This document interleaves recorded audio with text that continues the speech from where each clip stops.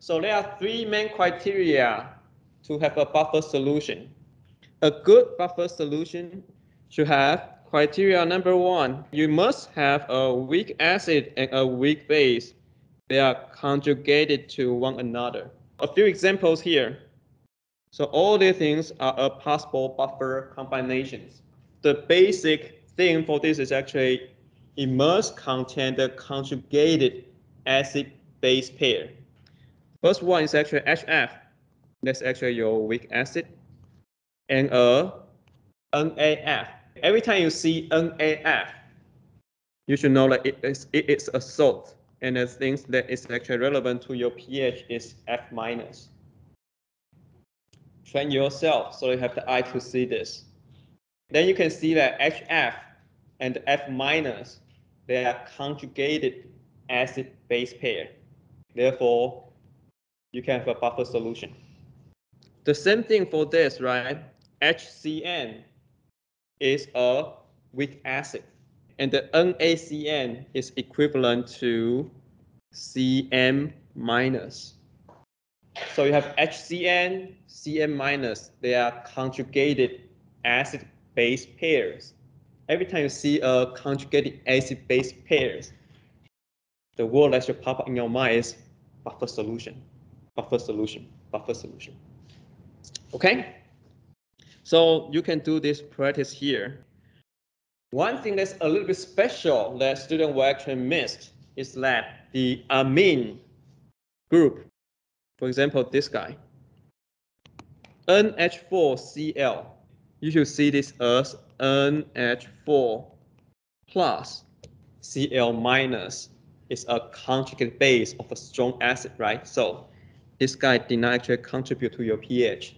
So the remaining part, which is actually NH4 plus, is a conjugated acid of a weak base. Okay, so that is the acid you have, and then NH3, that is the weak base you have. This is also a conjugated acid-base pair. This is actually a good combination for a buffer as well. Sometimes you will see it doesn't really write out as NH4 plus. It write out these things like CH3NH3. So what this means is actually, if you look at this structure, it means your nitrogen attached to four hydrogen. Oftenly in your homework, you will see something like this, like CH3, CH3, CH3. This is actually the same as your NH4 plus. Okay, sometimes the nitrogen doesn't have to be always attached to a hydrogen, okay, you can attach to a alkyl chain, and then you can attach to like one alkyl chain, two alkyl chain, or three alkyl chain. But the things you should see is actually all these things is actually belongs to so-called the amine base. Every time you see this a chemical formula, they give you N attached to maybe four different atoms, okay, with a plus. Okay, that is actually a weak acid. All right, so let's actually the first criteria. And you really need to have you really need to actually have a conjugated acid base pair.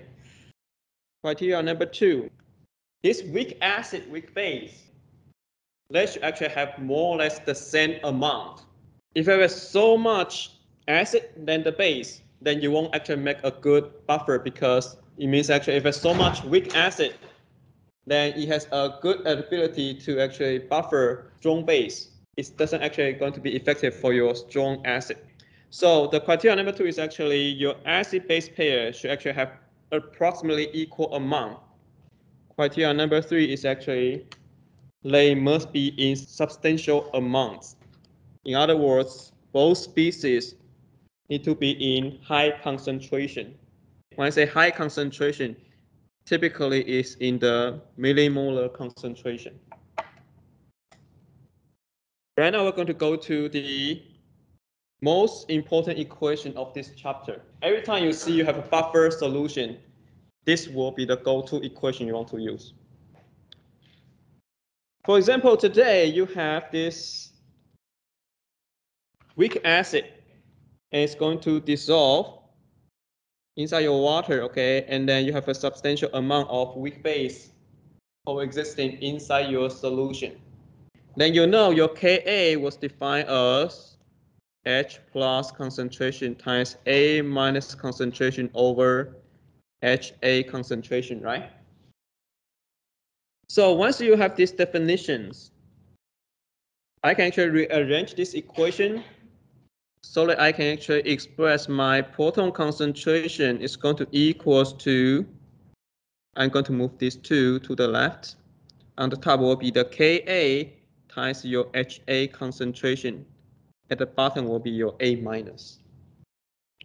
Then I want to actually convert this one into my pH. So we know the pH is simply a negative log of proton concentration. So I'm going to take the negative log on both sides. So like I have negative log H plus is going to equals to, okay, I want to put these things in one term and let in, in another. So you'll be negative log Ka plus negative log acid over base. On the left hand side, we know that is actually your definition of your pH, right?